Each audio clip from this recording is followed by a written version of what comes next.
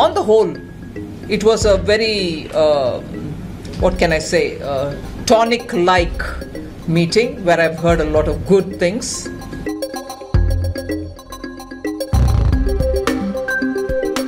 I've not heard liquidity as a problem from anybody. That is one thing which I want to take as a message. If anything, more liquidity reaching them, they see a demand waiting there and they wouldn't mind extending further facility, particularly for the small finance banks. It seemed as though they are going on a smooth path. They've not had a friction or a blip in the last one year. So the issue is if more money reaches the rural pockets, there's more demand and they can service. People not coming forward to buy as many commercial vehicles is seen as a cyclical problem, is seen as a problem which is not new, which happened sometime in 2010 or so.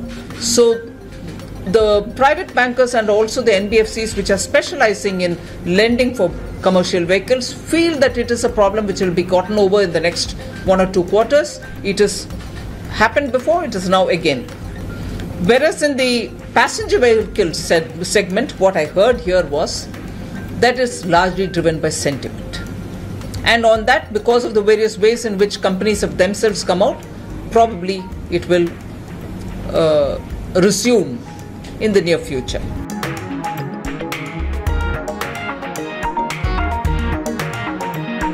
The service sector is showing very high appetite for credit and because today more than 50% contribution to the GDP of the country is from the service sector, there's immense possibility to be able to reach out to them, provided, of course, there are some simpler uh, tweaking that we can do uh, using their salaries and the cash that they earn also as part of what can be used for their assessment, credit assessment.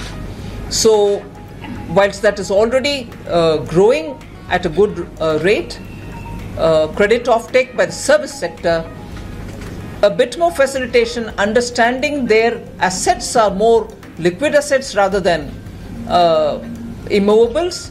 Such amendments would also help them in order to service the prudential norms but yet give uh, further credit to them.